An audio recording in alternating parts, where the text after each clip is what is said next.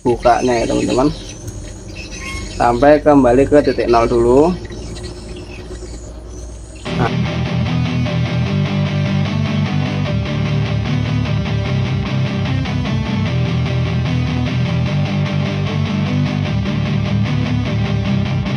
Oke, assalamualaikum warahmatullahi wabarakatuh.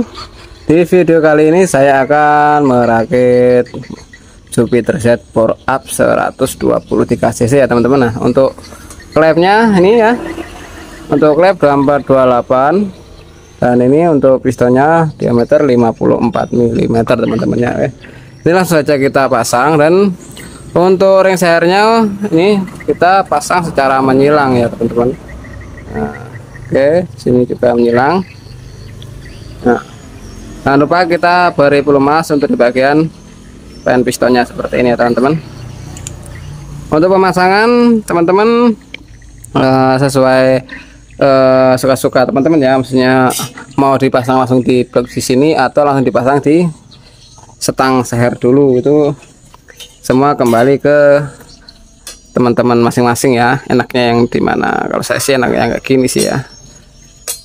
Jadi waktu masanya tuh enak terlebih ini bloknya masih baru. Ini jangan lupa dikasih pelumas juga. Untuk di bagian blok dan juga pistonnya ya. Supaya meminimalisir gesekan pertama waktu awal dibunyikan nanti teman-teman ya. Oke lanjut tak pasang dulu ini. Oke lanjut pasang. Jangan lupa di bagian sini kita beri volume nah untuk pin dowelnya ini pin dowel ini jangan lupa dipasang juga supaya bloknya tidak geser ya teman-teman.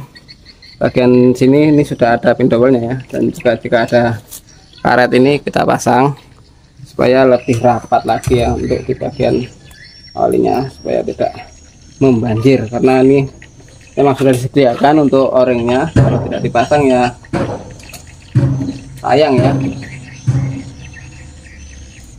Jadi kita pasang saja untuk o-ringnya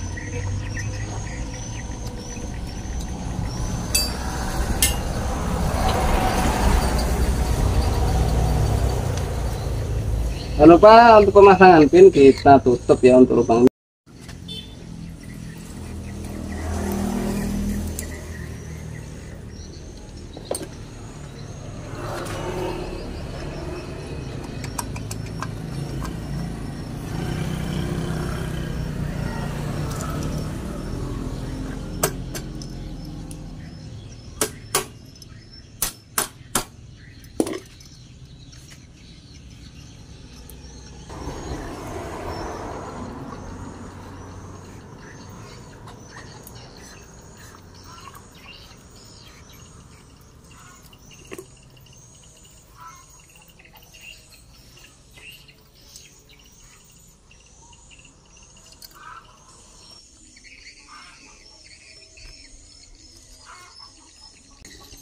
ini untuk pendowel ini juga ada ya ini.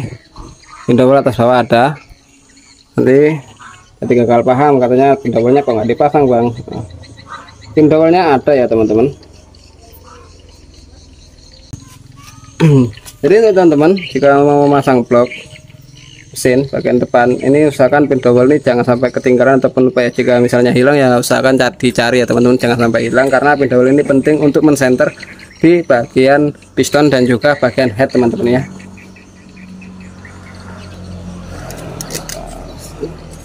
Kita berikan lem pada perpak supaya tidak bocor ya. Menghindari kebocoran oli. Oke itu ya.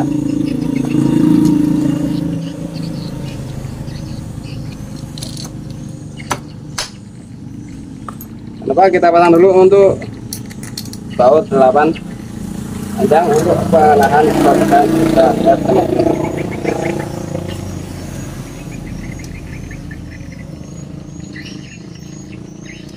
kita teratin saja. Tidak perlu kencang banget nggak apa-apa. Yang penting terat ya teman-teman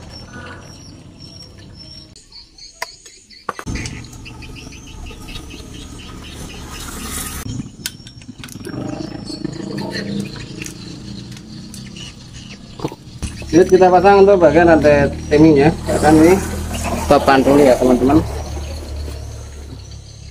Tutupnya kembali ke top standarnya teman-teman. Ini bagian ini ngarah ke depan ke panas ini dan ini lurus ke bawah ya. Titik topnya ini tidak perlu merubah teman-teman. Ya benar-benar lurus teman-teman. Ah juga seperti ini. Lihat enggak nah ini ini ini tidak lurus ya. Jadi kita luruskan. Nah, sampai dia benar-benar lurus teman-teman. Terus ini kita pasang.